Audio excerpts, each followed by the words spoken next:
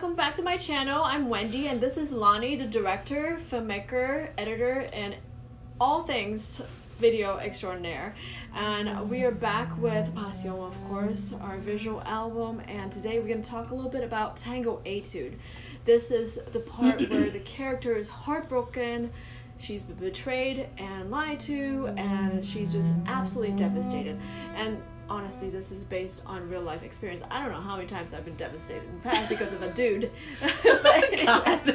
so um, I feel like this is an experience that many people can relate to when you just feel betrayed and just really sad breaking up. And we chose the location of Brooklyn Bridge because um, I don't know. Well, first of all, I have a personal connection to that bridge. Like something similar like that sort of happened on that bridge, or shortly after.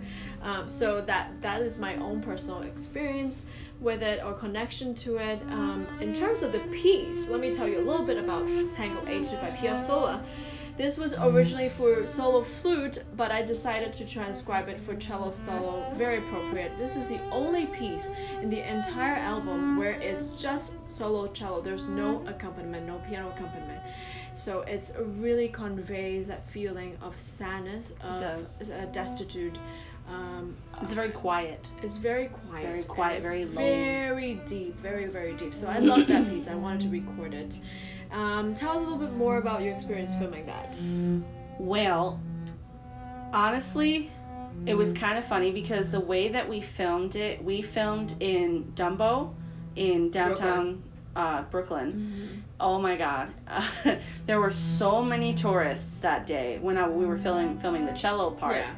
And I'll never forget. That this is my story. It was so funny I was filming Wendy and and she's getting really into it, right? This this this lady almost freaking cried like three times for this piece because you know it's very emotional. Very emotional. And she's sitting there, she's all like, you know, like crying. And this lady comes with this big ass flash, like a big flash and a big camera. And I just was, I was filming her and getting like a close up, and I just whipped my head and I was just like, and I'll rem- I'll never forget. I was like, "Do not," and I just mouthed it, and she was just like.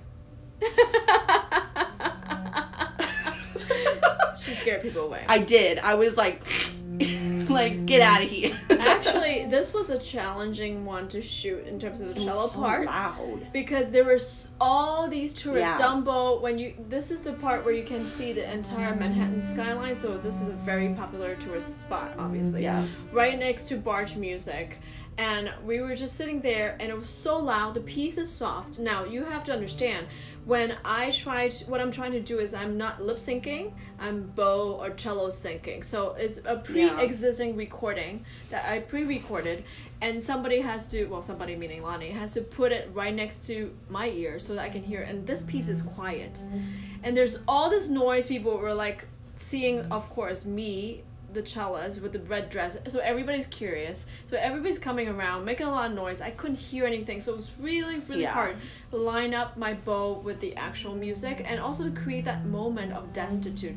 But I also think that's what makes it so powerful because New York is known to be noisy, there's a lot going on, but to hear this kind of quiet, destitute, like desolate kind of piece of music uh, in this noisy environment, it really creates that contrast because yeah. it really shows how the character is very lonely, uh, even though there are all these people around, all these things happening.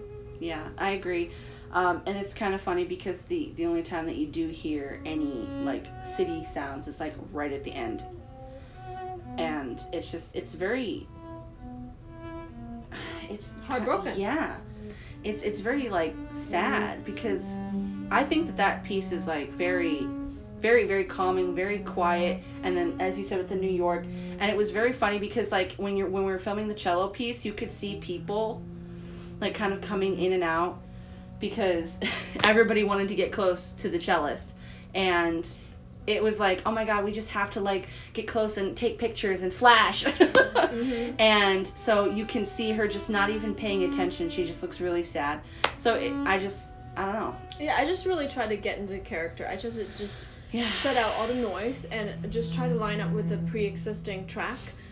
I just really wanted to convey that feeling of just devastation that you feel after something happens to a relationship, someone betrays you, and that's a horrible feeling.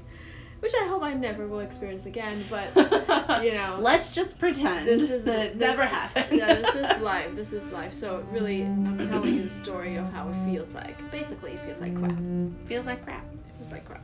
Thank you so much for joining us, and until the next video, be sure to subscribe. Leave us a comment. If you have any other questions, we'll try to answer.